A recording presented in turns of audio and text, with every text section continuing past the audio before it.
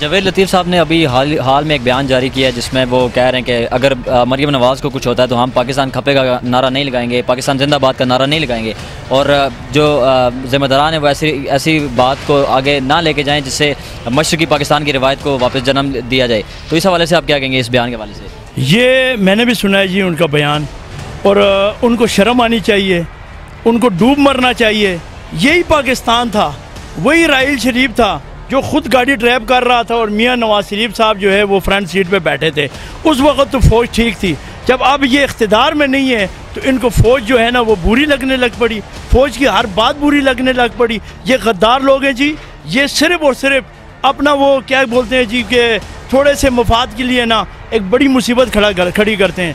इनका ये बयानिया जो है ये जावेद लतीफ़ साहब का ये अभी देखें हमारा जो पड़ोसी मुल्क है वो हर मरतबा हमारे दरमियान कोई ना कोई ऐसी चीज़ ढूँढने की कोशिश करता है। हमारे सरादों की वो अ, खिलाफ वर्जी करते हैं। इस तरह के बयान जो है ये तो उनको देने चाहिए। ये तो उनकी ज़बान बोल रहे हैं। और ये किसको खुश कर रहे हैं ये आप सबको पता है। ये अब ये इकतदार के भूखे हैं जी। ये अब इकतदार में नहीं है। सियासी बेरोज़गार हो चुके हैं। इनको फ़ौज पे जो गुस्सा है वो इस चीज़ का नहीं है कि ये जो हमारे इमरान खान साहब है, वो इकतदार में। इनको इस चीज़ पे है कि अब भी इस वक्त पूरी दुनिया का आप जो तारीख उठा के देखें, फ़ौज और सिविल हुकूमत जो है ना, एक पेज पे है।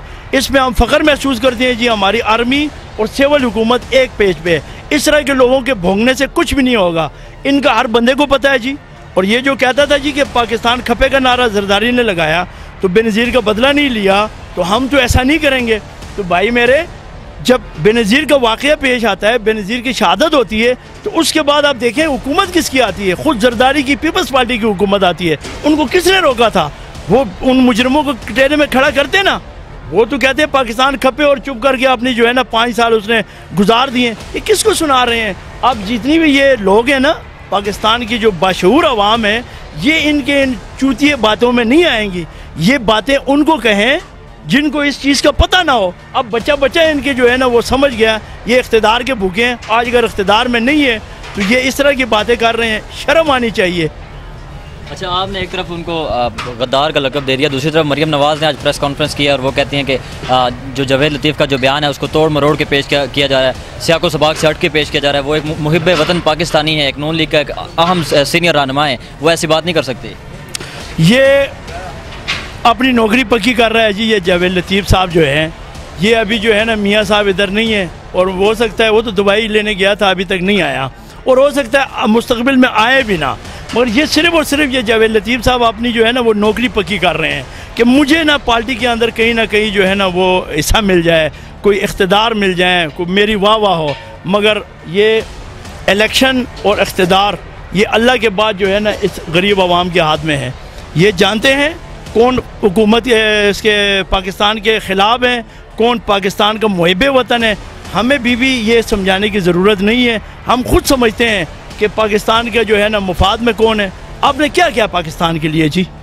आपने उन टाउट जो थे वो इंडिया के, उनको आगे जनाब आपने विज़िट करवाया मरी का बग़ैर फ़ौज को बताया बग़ैर आर्मी के परमिशन के बग़ैर हमारी एजेंसियों के इतला के बग़ैर आपने उसको जो है ना पूरे मरी में घुमाया।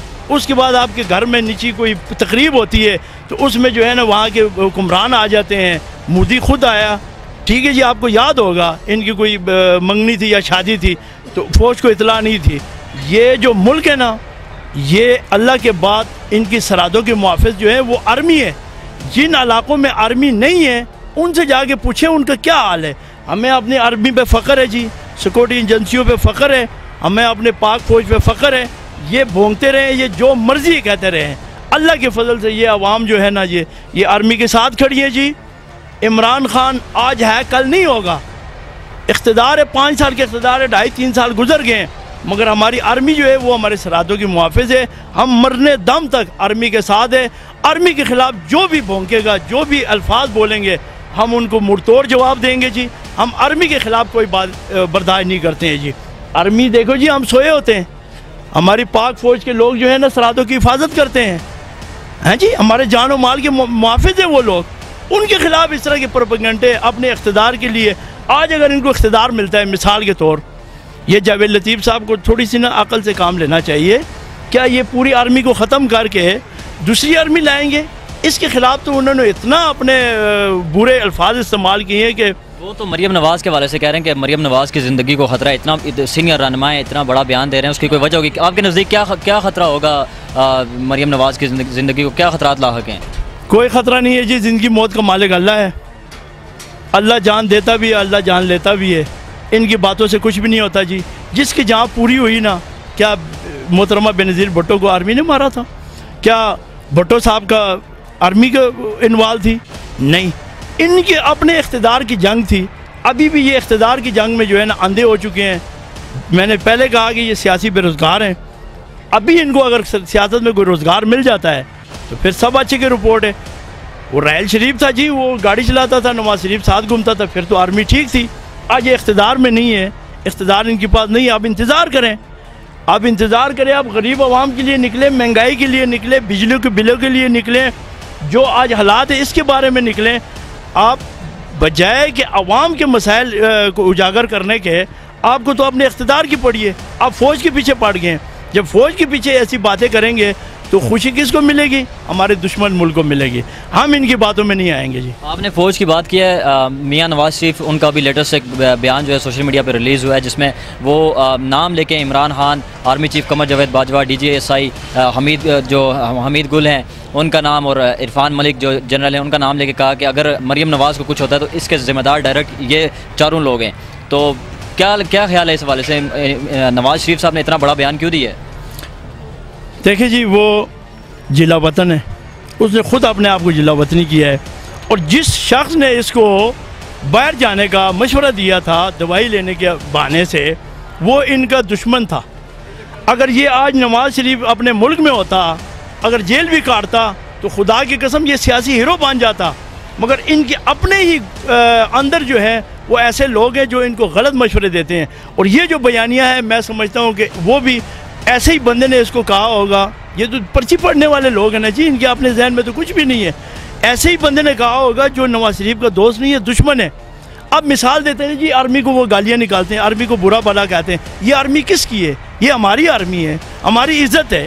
अगर अपनी इज़्ज़त को इतना लोग उछालते हैं, दुनिया भर के अंदर लोग हम पे हंस रहे हैं कि एक पार्टी इकतदार में और दूसरा इकतदार से बाहर है और भोंग रहे हैं, फौज पे।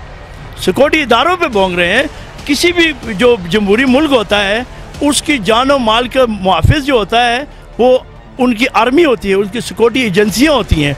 जब एक बंदा अपने सिक्योरिटी एजेंसियों का लिहाज ना करे, उनके ख़िलाफ़ इतने नाजेबा ज़बान इस्तेमाल करें, देखो मरजम नवाज़ की ज़िंदगी को क्या ख़तरा है, ज़िंदगी मौत तो अल्लाह के हाथ में है ना जी? फ़ौज खुदा न खास्ता, वो हमारे लिए तो ऐसे तो नहीं है कि वो किसी को मारने के लिए है, वो तो हमारी जान माल की तहफ़ करने के लिए है। जब फ़ौज के ख़िलाफ़ आप इतनी नाजेबा इस्तेमाल ज़बान इस्तेमाल करेंगे तो आखिर वो भी हम में से इंसान हैं हमारे ही बहन भाई है हमारे इन गली मोहल्लों में खेल खुल के बड़े हुए उनके भी आखिर दिल है कि भाई एक अनहोनी बात की हमें सज़ा मिल रही है। बार बार स्टेज पे वो पा, पाक फौज को मुखातब करके बातें करते हैं गालियाँ इन्होंने निकाली बुरा भला इन्होंने निकाला।